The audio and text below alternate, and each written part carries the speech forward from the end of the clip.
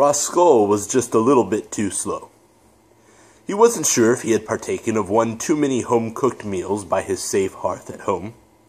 He wasn't sure if perhaps it had been too long since he had last stepped out from his comfortable community along the Hetty river to engage in a little adventuring of his own. He wasn't sure if it was just his utter failure as a friend and as a hero. It may have been some combination of these things, or simply the overall futility of having been completely out evolved by the massless orbs of Visicorp's hunter team.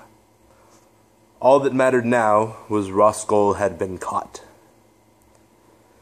Dan, Hans, and Savannah seemed to have escaped for now. But was there really any escape from the seemingly omniscient control of Visicorp? It was this morbid thought that made Roscoe wonder if it was even worth it at all. Had he just been captured for nothing? He looked to bolden himself, and in doing so, his sharp mind reasoned that this is exactly what Visicorp wanted. Another one of their systems of control. It went along with their cameras, their constant medical screenings, their massive towers, even, he thought, the entire notion of the Five at all.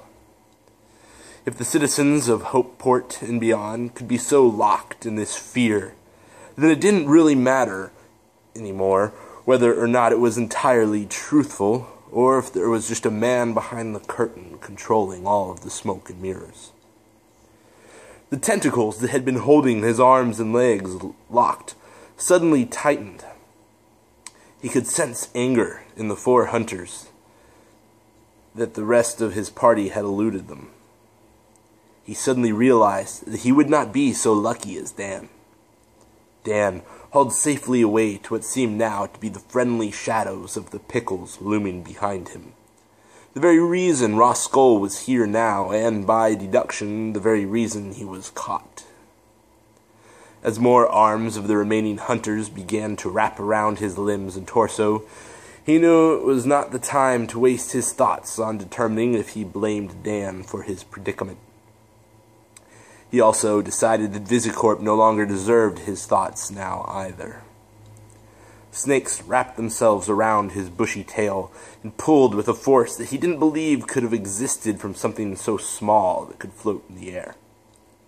His tail ripped from his body and tore with it a strip of skin up along his spine. His scream was immediately silenced by a score of tendrils gagging any sounds he could make. He could feel the cold autumn wind on his exposed gash along his back. It would have been a stinging pain were his brain not preoccupied by his left leg now being ripped from his body. He thought back to his days as a young squirrel with his brothers running up to the northernmost reaches of the Fairchild Plains, where the Hetty began to break off into a labyrinth of lesser rivers and creeks, and sabotage the homes of the badgers just for the thrill of it. He thought to his mother and how frustrated yet fearful she would be that her dear children would get caught. Roscoe knew differently in his youth that he was invincible, and no badger alive would be able to match his speed. His arm tore off on his right side. He turned to look at it and watched the blood spray in all directions.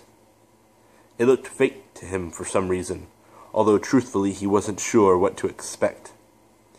He had never seen a creature dismembered before, much less himself. He was so numb to the pain now that he realized he ought to be reacting to it several seconds after his lifeless limb touched the ground. The hunters being not much more than what looked like the eyes plucked out of some poor soul, only several times larger in size, with red and blue veins trailing off behind them like so many flagella floating causelessly in the air, were seemingly always giving off a faint buzzing noise, but had now somehow amplified this noise slowly more and more throughout their macabre process of fatally torturing their prisoner. The tendrils now wrapped around his neck and Roscoe knew what came next. He made absolutely sure that his final conscious thought was of Irva.